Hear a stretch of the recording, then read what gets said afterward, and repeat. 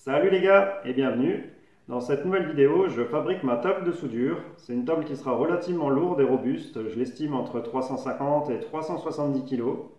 Elle sera sur roulette parce que c'est vraiment ce que je souhaitais, une table que je peux déplacer comme je veux dans l'atelier, histoire que si j'ai une grande pièce ou, voilà, ou l'extracteur que je veux mettre à une certaine position pour pas être embêté, ben je pourrais déplacer la table et toujours être dans une bonne position.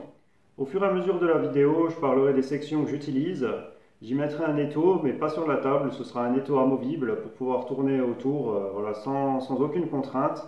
J'y mets des pieds ajustables pour y ajuster le, niveau et avoir un niveau parfait. Je détaille pas forcément tout dans cette vidéo, mais sur Instagram, euh, en story, j'en ai, ai, beaucoup parlé et j'en ai fait des stories permanentes. Alors, euh, s'il te manque des infos, tu peux peut-être aller les piocher là-bas, c'est quand même très détaillé. Donc, j'ai ça en story permanente euh, sur mon compte Instagram. Tu peux le retrouver en bas de cette vidéo. Bon visionnage Avant de démarrer le projet, je m'étais fait un croquis assez complet, histoire de faire un maximum de coupes au départ et puis gagner un petit peu de temps pour, pour l'assemblage. Comme tu peux le voir, je mets toujours de la graisse de coupe avant de couper. C'est une machine qui est prévue pour de la coupe à sec. Mais euh, cette graisse, euh, voilà, elle n'encrasse pas les volants et rien. Tu mets juste de la graisse sur les dents et tu vois qu'il y a bien moins d'échauffement. Donc la lame chauffe moins, la pièce chauffe moins. Ça peut que être bénéfique pour euh, la machine et pour la pièce. Comme toujours, tu trouveras un lien des produits que j'utilise dans la vidéo dans la description. Comme tu peux le voir, j'utilise aussi de la récup, comme ces fers plats en galva, que je vais justement essayer de dégalvaniser avec du vinaigre blanc. Je vais les plonger dedans, et puis on va voir ce que ça donne.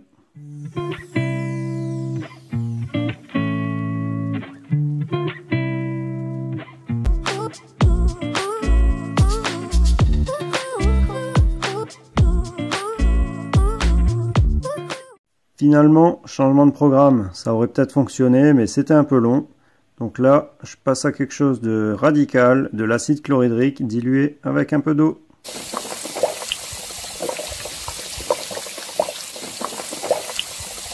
Oui, je suis d'accord. C'est flippant.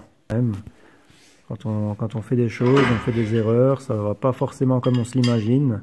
Tu vois, j'avais soudé euh, un boulon sur, euh, sur le fer plat. C'est les fers plats où j'ai enlevé la galvanisation. Et je pense que tu t'en souviens, c'est le genre de truc que tu n'oublies pas. C'est un écrou de 14 mm. Donc je vais te montrer un petit peu les renforts et tout que j'ai prévu. Ça c'est pas mal du tout, c'est vraiment résistant. Tu vois, je mets le fer plat en dessous. Et de chaque côté, je mets un fer plat en renfort. Donc voilà, ça ne pliera pas, c'est sûr, parce que c'est vraiment rigide une fois soudé. Ça a donné ça. Bon, ma tige de 14 est déjà beaucoup trop longue. Elle est limite en diamètre. J'avais du jeu dans le bas du pied parce que je me disais que je le faisais pas fixe pour euh, que ça épouse correctement le sol, machin, mais au final ça me crée un, vrai déséquilibre. C'est pas terrible, alors j'ai modifié tout ça. Je suis toujours en kiff avec ma lame de chez Erco. Tu vois, ma coupe elle est, elle est vraiment nickel. Et tu vois, je peux y mettre directement mon écrou. Sur ce côté-là, c'est vraiment exactement pareil. Attends, je vais te montrer. Tu vois? Il y a à peine une petite bavure là, mais que je peux enlever à, la main, quoi. Je vais essayer à une main. Tu vois, même à une main, j'y arrive. Tu vois, le filet est, vraiment coupé euh, parfaitement droit. Et comme il n'y a pas de bavure, je peux mettre direct mon écrou dessus. Voilà, c'est une tige de 20. Donc c'est coupé parfaitement droit. Avec la lame là, elle est, elle est vraiment pas mal du tout. Tu vois, c'est une lame 6-10. Donc c'est déjà de la, la bonne dent. Quand il reste un copeau que j'arrive pas à enlever facilement ou une coupe qui est pas 100% droite, j'utilise ce petit accessoire là, ça va, ça va vraiment très bien et du coup le filet prend nickel aussi. J'ai fait un pied histoire de faire un test et ça va très bien. Donc là tu vois j'ai doublé les écrous, je vais les souder ensemble pour que ce soit pris sur un, un plus gros filet, une plus grosse longueur de filet et tu vois j'aurai du jeu de haut en bas, c'est un peu le même système qu'un échafaudage. Suffira de visser ou dévisser pour monter ou baisser la table. Ce ne sera pas réellement pour soulever la table pour ajuster euh, voilà, la hauteur, mais plus euh, ajuster le niveau, donc sur un centimètre, un centimètre et demi maximum sur une partie de la table.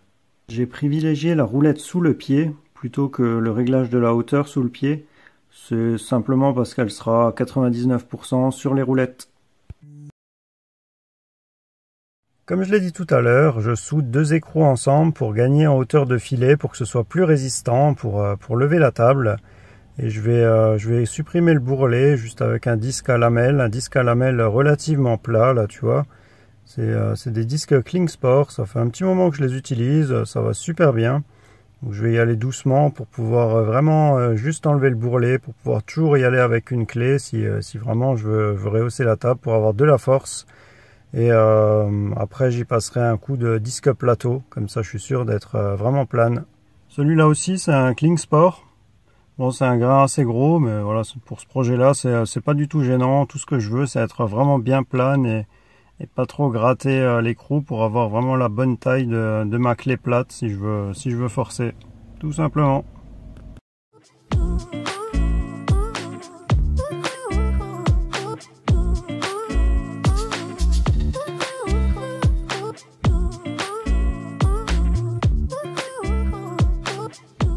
Et là, c'est bien plat. Au moins, avec la clé, tu aucun problème. Tenais à avoir des pieds démontables. Alors c'est sûr que c'est plus de boulot que de, que de les souder, mais voilà, je tenais vraiment à l'avoir démontable. Comme tu peux le voir, j'ai utilisé des fers plats de 10 mm sur 100 mm. Alors j'y ai fait des trous de 16 mm, parce que je vais y passer des vis de 16 mm elles aussi. Pour bien m'aligner à mon trou avec ma perceuse magnétique, j'y mets d'abord une fraise à chanfreiner, comme ça je suis sûr d'être bien axé. Et après je perce un, petit trou, histoire d'avoir un réel repère et voilà, histoire d'être vraiment parfaitement aligné. Tu le verras un peu plus loin dans la vidéo, mais cette fraise de chez Tivoli, elle est vraiment efficace. Je l'ai pas précisé, mais les pieds font 80 par 80 sur 4 mm d'épaisseur et le fer plat qui viendra maintenir le pied sur la table fait 10 mm d'épaisseur. J'ai fait les trous juste assez gros pour pouvoir y passer un écrou de 16 et qui ait pas mal de filets, que ce soit bien résistant une fois soudé. Pour être sûr que tout tombe parfaitement bien, j'ai vissé les fers plats aux écrous que j'ai soudés avant et j'ai tout soudé en position. Là, j'y ai mis 4 passes pour que ce soit vraiment résistant. Alors, je te montre encore une modif que j'ai fait en cours de route. cela dit, celle-là, elle m'a fait perdre beaucoup de temps. Parce que tu vois, là, je suis en train de pulvériser de l'acide chlorhydrique dilué à 30%, parce qu'en fait, euh, je m'étais imaginé de faire une table de soudure euh, totale l'eau crouillée. Sauf que, en fait, le problème, c'est que le cadre est galvanisé et j'arrivais pas à le faire rouiller correctement, j'arrivais pas à avoir l'effet que je voulais.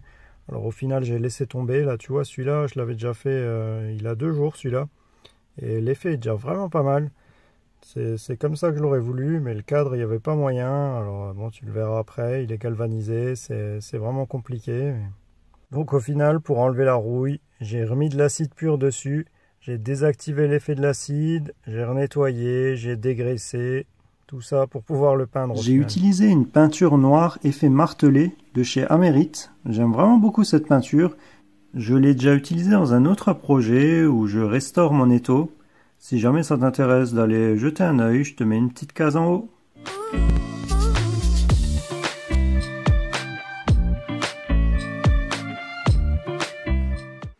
Ça y est, les voilà ces cornières de récup.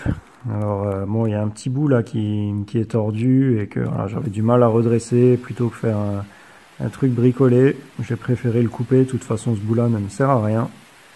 Tu peux le voir sur le dessus, il y a, pas mal de trous. Ces trous-là ne me gêneront pas. Mais sur la face avant, il y avait aussi euh, plein de trous que, j'ai rebouchés, que j'ai ressoudés, donc euh, juste euh, pour faire propre. Je fais encore quelques coupes pour les cornières qui vont composer le cadre. Je bride et je pointe directement sur ma plaque. Alors pour éviter d'avoir des gratons qui, adhèrent à la plaque et de devoir les gratter ou les taper ou les poncer, ben je mets de l'anti-graton. Je mets un petit lien, ça fonctionne super bien.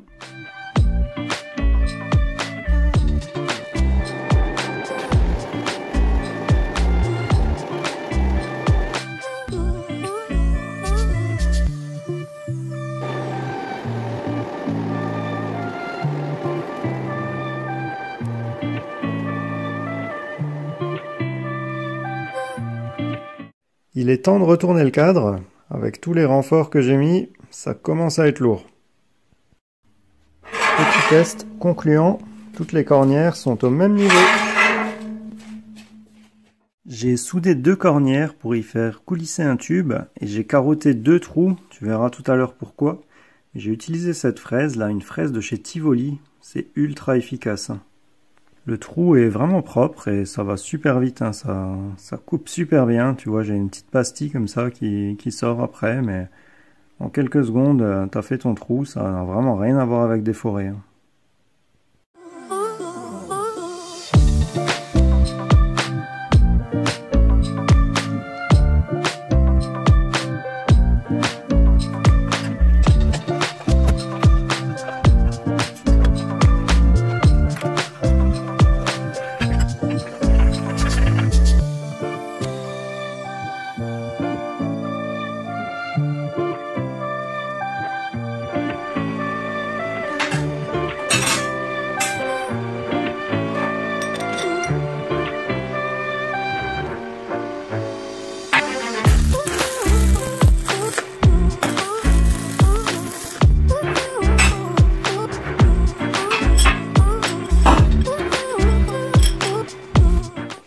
Pas filmé la mise en place des platines que j'ai fait pour les pieds, mais c'est très simple. Hein. En fait, j'ai mis ma table parfaitement de niveau. J'ai posé mes pieds que j'ai mis parfaitement de niveau aussi. J'ai calé, j'ai mis des serre-joints, je l'ai soudé comme il était. Et du coup, ça va nickel. Je l'ai soudé avec les vis dessus, comme ça j'étais sûr que ça retombe vraiment parfaitement bien. J'ai quand même repassé un petit coup de tarot parce que voilà, il y a toujours des petites déformations, mais malgré tout, ça allait nickel. En ce qui concerne le dessous, j'ai choisi de le peindre avec une peinture galvanisée, donc une galvanisation à froid. Ça va très bien, ça va vite, en bombe on accède à tous les recoins. Donc là c'était plus pratique de, le faire comme ça tout simplement et je trouve que ça fait propre.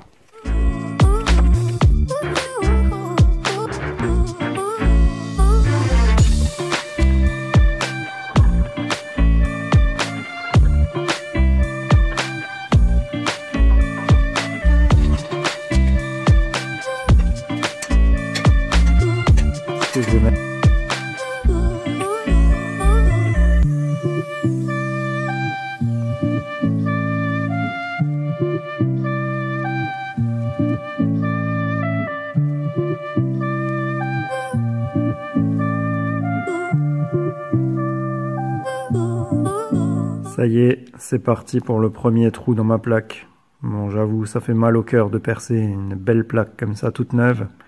Mais bon, faut le faire, faut la fixer. La plaque fait 12 mm d'épaisseur, mais avec euh, une perceuse magnétique et un bon forêt, ça va très bien.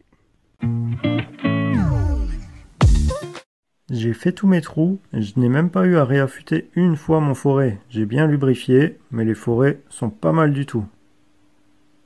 Je passe au taraudage et pour tarauder, ça va vraiment super bien d'utiliser cette graisse de coupe, la Cherco, la TubeCut 350 dont je t'ai parlé avant. Parce que du coup, tu fous pas de l'huile partout. Voilà, c'est pas huileux, c'est euh, vraiment propre. Euh, et, ça lubrifie très bien, tu le sens à l'échauffement, c'est vraiment pas mal du tout. En ce qui concerne le tarot, c'est un Tivoli, donc tu peux l'utiliser à une vitesse plus importante que les autres. Je te mettrai un petit lien aussi, c'est vraiment intéressant. Tu l'utilises à la visseuse en une passe et ça va super bien, ça coupe super bien. Je ne l'ai pas filmé, mais j'ai préparé tous mes trous pour noyer mes vis. Donc là, c'est nickel, j'ai fait des essais, euh, les vis euh, vont parfaitement. Voilà la fraise que j'ai utilisée, euh, je l'ai déjà utilisée tout à l'heure, là je t'en ai parlé. C'est vraiment efficace.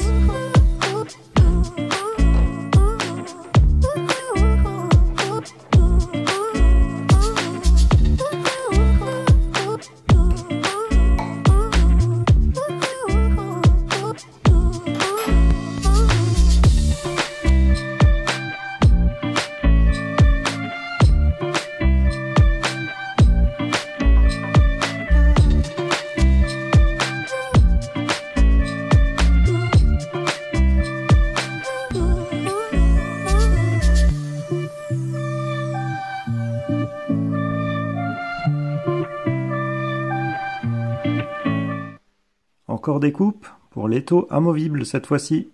Le support sera composé uniquement de chutes que j'avais, mais ça va très bien. Le côté qui est face à la plaque, je l'ai bien pointé, je l'ai meulé histoire que je sois bien plane. Je l'ai bien bridé sur ma plaque, histoire que j'ai aucune déformation. J'ai bien chanfreiné, bien blanchi, reste plus qu'à faire des beaux bourrelets de soudure. Rien de bien compliqué, je vais fixer l'étau sur la plaque que j'ai soudée, histoire de voir si tout va bien.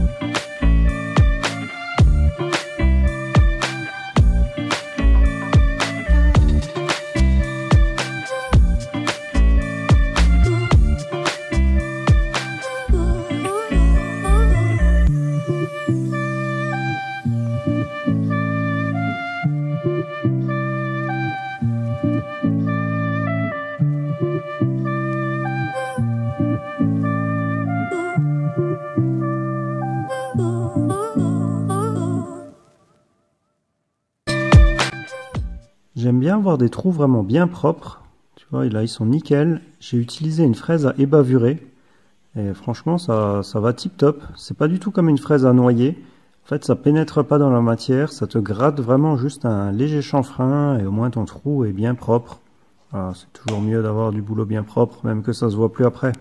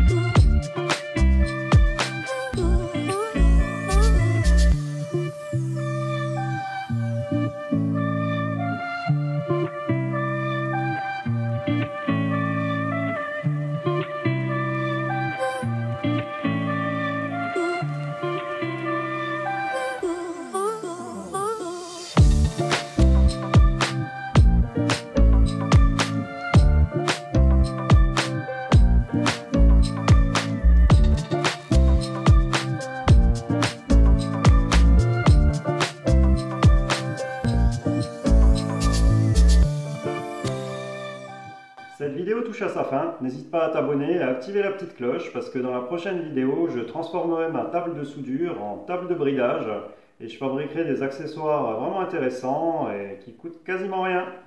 A bientôt